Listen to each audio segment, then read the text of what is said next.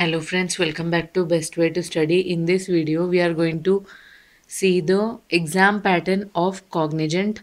Coming to Cognizant, it provides three different packages. Okay, so for on campus, it provides 3.38 package, and for off campus, it provides 3.38.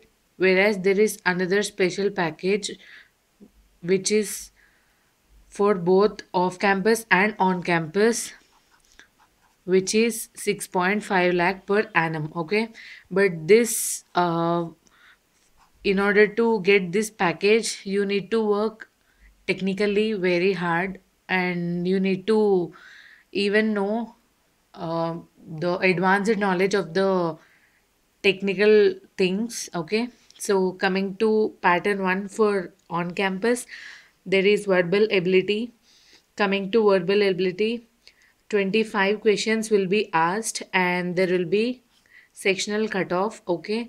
Like for every section there will be cutoff marks and you need to clear all the individual sections. And coming to logical uh, they'll be asking 14 questions and coming to quantitative aptitude you'll be asked to solve 16 questions. And coming to written test uh, the important tip is that you need to maintain and manage your time well. Use shortcuts instead of using the lengthy methods in order to solve all the sums within the given time. Okay that's the very important trick uh, trick one should follow in order to crack the written test. And coming to the topics of quantitative aptitude they'll be asking questions from numbers, time, speed and distance, pipes and cisterns, profit and loss, HCF and LCM. And which are the important topics out of these five means time, speed and distance is the most important topic. Profit and loss is most important topic, but you need to study all these five topics okay and coming to verbal they'll be asking questions on reading comprehension, parajumbles, sentence correction, and critical reasoning, along with synonyms and antonyms. Coming to reading comprehension, they'll be asking the paragraph which will be in between 20 to 30 lines. So you need to manage your time and complete the pa- uh, paragraph within the time and uh, from one paragraph one to five questions will be asked. Mostly five questions will be asked. And coming to how many paragraphs like how many reading comprehension will appear in the exam depends upon the uh, um like your the company which is conducting. Means um i mean if it is AMCAT, Elitmus, or CoCubes, like these are the three different companies which will conduct the exam, right? So it depends upon individual pattern. Okay. So coming to parajumbles, it will be easy. Sentence correction, you need to have um, little knowledge about the grammar, critical reasoning.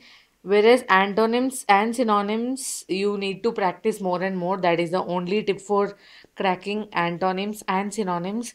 And if you don't know the answer, just blindly go for one of the option. Don't waste your time because time is very limited in written test. And coming to logical, the topics are critical reasoning, data sufficiency, odd man out, coding and decoding, and linear arrangement. Okay. And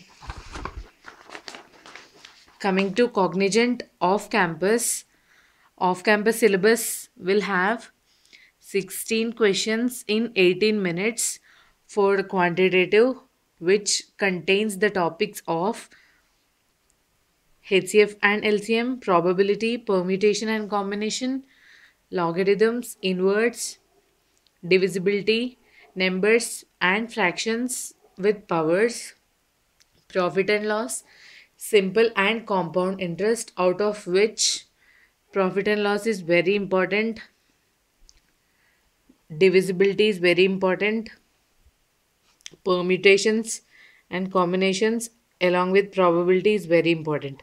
Coming to English, they'll be asking 18 questions out of which you'll be given 16 minutes. And the topics are synonyms and antonyms, vocabulary, error identification, sentence correction, subject verb agreement, tenses, articles and their voices, prepositions and conjunctions, and not least but very important is reading comprehension.